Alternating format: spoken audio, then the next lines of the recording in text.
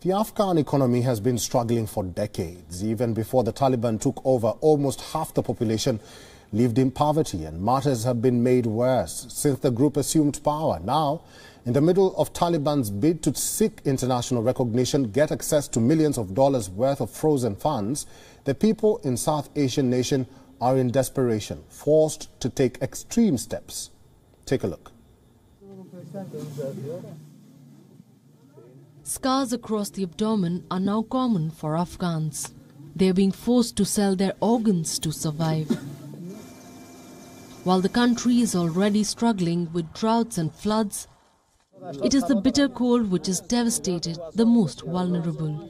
For the poorest, who have neither food or fuel, international aid organizations are their only hope. And whatever they can scrounge from the snowy streets. It's really very hard in Afghanistan right now, and there are too many people like me who don't have a husband or a father to support them. Hundreds are flocking to the city of Herat for surgeries. The crisis has actually driven prices of organs down. Prices have gone down from 2000 US dollars for kidneys to 1500 US dollars. Others are contemplating even selling their children to survive.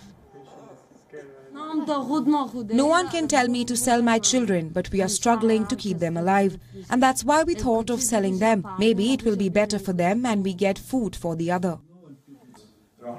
Earlier this month, the United Nations launched its largest single country appeal to raise over 5 billion US dollars to help Afghanistan. It is estimated that roughly 90% of Afghans are dependent on aid and nearly 3 million are displaced in their own country. Bureau Report, WION, World is One. WION is now available in your country. Download the app now and get all the news on the move.